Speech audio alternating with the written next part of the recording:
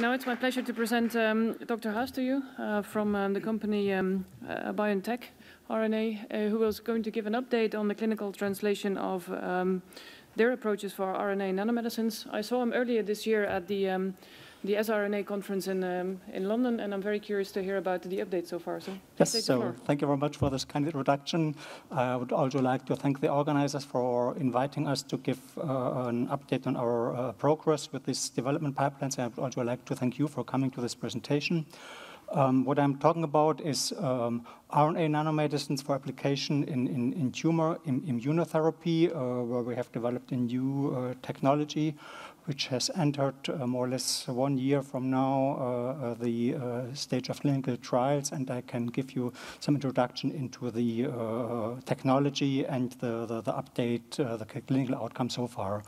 This is a project um, uh, which came out from a close cooperation between the Mainz University, uh, TRON, which is a non-profit research organization uh, in Mainz, Germany, and BioNTech, which is a spin-out from the Mainz University um, founded uh, uh, not such a long time ago, 2008, but actually we are not so small uh, anymore, and we are uh, having a rather complex company structure.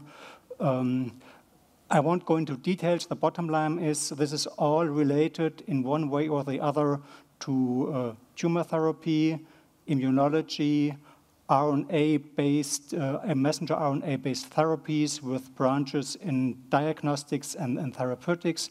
And we do have also uh, production sites for GMP manufacturing of our compounds. Um, the, the, fundamental idea is to use messenger RNA for uh, tumor vaccination. So instead of using uh, antigens for vaccination, as in classical vaccination for, uh, for, for infections. We, we use messenger RNA that codes uh, for, the, for the tumor antigens, and therefore this uh, RNA has to be delivered to antigen-presenting cells to trigger the immune response. If this happens, a whole cascade of different types of uh, uh, uh, immunological responses is, is triggered, both systemic immune responses and specific immune responses towards uh, the antigens uh, uh, for which we have vaccinated. And therefore, uh, one of the key tasks for such a um, development is to enable efficient delivery of the uh, RNA into the target cells, which must be in one way or the other antigen-presenting cells.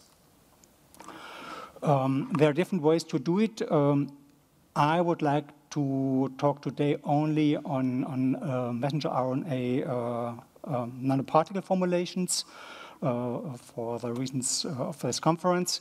Uh, and these are RNA nanoplex, lipoplex nanoparticles formed from RNA and liposomes. they don't look exactly as shown. I have to take the other one as shown here in this cartoon, uh, actually what we get is kind of globular compact uh, particles with uh, internal lamella-like organization, which are uh, globular but not really spherical. Uh, I used to call them potatoes, uh, um, but uh, you are free to have own ideas. Anyway, we make them in defined size and characteristics, enabling intravenous injection. And with these particles, we can target different organs after, after intravenous injection. Um, this slide is just to show uh, in, in, in, in one glimpse the, uh, the, the, basic principle. What we simply do is we, we uh, incubate positively charged liposomes and RNA in different charge ratios. We get defined particles with suitable particle sizes for parenteral application and we find that these particles uh, protect the RNA from degradation.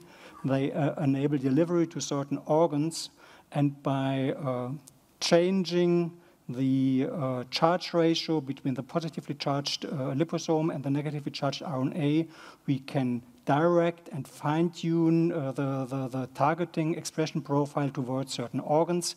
Here you see that uh, uh, an example where we can switch between uh, lung targeting uh, in the case that we do have an excess of uh, positively charged liposomes towards spleen targeting in the case that we do have an excess of negatively charged RNA. So it's a very simple and straightforward principle. Uh, and it has several advantages. One of the advantages is that it is uh, applicable to any kind of lipid. It's not required to have a complicated lipid, which uh, uh is the only one that works. It's a generic principle. And um, here uh, you see a view graph of size measurements just as a, as a, representative image what comes out. We can make particles uh, with uh, lipids and, and um, uh, liposomes and, and RNA which are uh, confined in size in case uh, that one of the moieties uh, is present in excess. In the charge equilibrium range, uh, the, the, the, size diverges and the, the zeta potential, the charge of the particle switches. This can be uh, reproduced with, with all kinds of, of combination of lipids. Here you see some standard lipids that are known to everybody in the field. They are the most boring lipids uh, in, in, principle, but they have the advantage that they are commercially available in GMP grade and they facilitate, for example, uh, clinical development. Uh, we heard two or one day ago uh, the uh, presentations which stressed the, uh, the, the, complexity of pharmaceutical development. And one bottom line which I would underline is keep it simple. And we are uh, uh, in grade to use this, this uh, um, standard lipids in order to construct our, our carriers for RNA delivery. So it's more kind of a particle engineering story. And here, this is an extract from uh, our recent paper in Nature. The, this slide is very busy because you see many different things uh, at the same time. But in principle, it shows using lipids you saw in the slide before that in all cases you can make the stable particles. The particle uh, size is uh, confined if there's an excess of negative uh, or positive charge and the, the, zeta potential switches. And on intravenous injection, we always see that we can redirect the, the maximum of expression profile from one type of organ to the others. And uh, on this basis, we can uh, select the most suitable, most compliant lipids for, for pharmaceutical development for, for our project. Just um, um, two more slides to show a little bit of technology before I switch to, uh, to clinical development. For our first studies, uh, we decided to have a kit approach for uh, uh providing uh, the um, uh, study medication uh, to, to, to, the hospitals consisting of uh, RNA, diluent, and um, uh, liposomes, which are combined to each other just prior to administration to the patient. Also, this has uh, advantages in terms of development speed, and it takes out complexity because we do not have to develop the protocol for manufacturing the ready-to-use product. However, we do also develop uh, these ready-to-use products for our subsequent uh, uh, um, uh, um, personalized um, medications, where we product the manufacture the, the RNA lipoplexes in a batch manner, which then can be stored in the liquid phase or in frozen state or in dehydrated state in order to maintain the required uh, shelf life for the respective administrations, uh, for the respective applications. And this is uh, uh, an overview on our, um, on our uh, clinical approaches to use uh, this concept for treating patients. There's basically three different types of, of uh, vaccinations, which we call FixVac, warehouse approach, and Mutterm approach. which are different in, in, in personalization, individualization with, with respect to the patients. With a FixVac uh, protocol, I have to change again, uh, uh, patients receive defined RNAs which code for defined antigens which are shared by the whole patient community. so this is a large batch production. In the warehouse approach, uh, we manufacture a warehouse, how we call it, of, of uh, usually uh, expressed antigens in certain indications and uh, patients are screened and they receive the medication only for which they are positive for. Uh, so, um, as an example, uh, of a, out of a warehouse of 30 different uh, uh, antigen RNAs, we select four the four ones for which the, the patients are most positive of. And in the IVAC multinome approach, this is a strictly personalized approach based on um, uh, sequencing of um, of tumor biopsies in comparison to healthy tissue, identification of antigenic mutations, and then manufacturing of personalized medications uh, for each individual patient. I would uh, uh like to uh, go to the uh, uh, LipoMerit study, which was our first clinical study with, with, with um, RNA lipoplex nanoparticle formulation. This is a FixVac approach. Uh, for uh, application in uh, malignant melanoma. Patients receive a combination of four different tumor coding, tumor antigen coding RNAs in, in, a sequence as, a, as intravenous injections. Um, where we have a study plan which uh, rough, looks uh, roughly like that. So uh, importantly, we have a, a, a, dose escalation phase, and you see that we start up with very small doses of total RNA per patient. So the, the, the starting dose of, of RNA is 7.2 micrograms per, per patient. This is below the level we use for the, the, the application in preclinical models. Uh, aim is to uh, uh, investigate safety, tolerability, biological efficacy in, in, four different centers in Germany.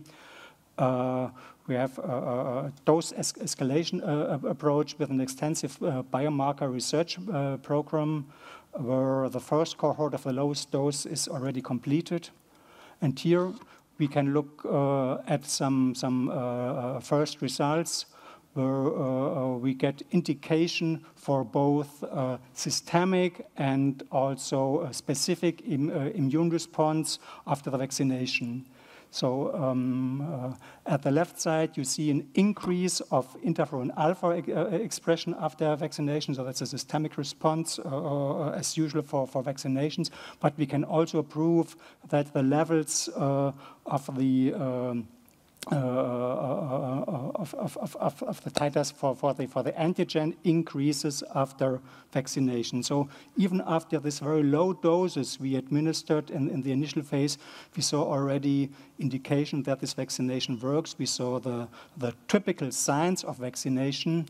And um, summarizing, uh, what we can say is that all these doses so far were well tolerated. Uh, what we get is uh, typical signs of vaccination, like a vaccination for any kind of uh, infection, so like uh, uh elevated temperature on the on, which can be uh, easily uh, con controlled.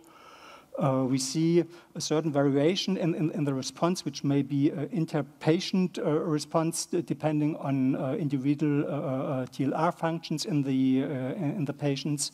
We see a dose-dependent response of, of, um, of cytokines like interferon alpha, and we see also response in the uh, antigen-specific T cells, both uh, de novo and amplification of already present ones.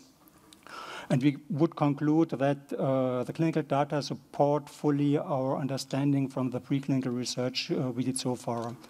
So um, overall, um, this is according to our standing, a very promising technology platform which enables us to bring uh, several uh, uh new um, uh, tumor vaccine uh, therapies into, in, into clinical development. And we think that this is also a technology which is suitable to bring these products into clinical practice at later stages. And with that, I would like to thank some of the cooperators. Uh, uh, more of them are on, on, on, the paper, which I mentioned. And I would like to thank you for the uh, attention, and I'm happy to take questions if there are some.